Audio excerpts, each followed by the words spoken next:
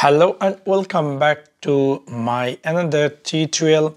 In this tutorial, I'm going to share with you how to turn on finger gesture in your Samsung Galaxy A22.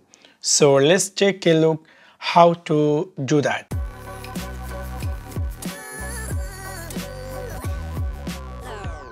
Maybe somehow or some cases you might be want to enable finger gesture. For example, if I am just touching my finger slightly down, my this quick notification area going to be appear and if I want any customization like turn on Wi-Fi Bluetooth or uh, mute the sound or etc you can easily do that.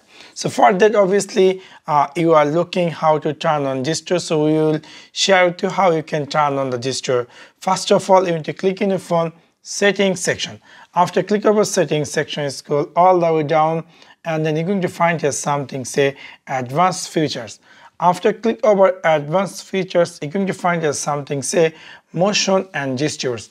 After click over motion and gesture, you're going to find here something say finger sensor gesture. Now let me turn this on and let me go back completely. And now you can see I'm browsing here and I want to um, let notification appear. So I'm going to using my finger just slightly down. You can see I didn't touch my skin.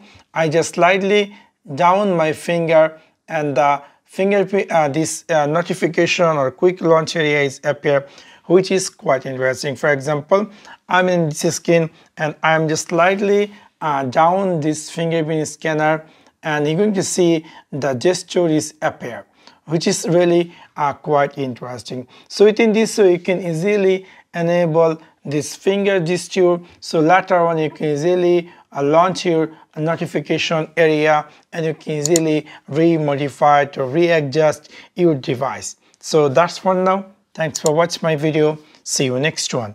Peace.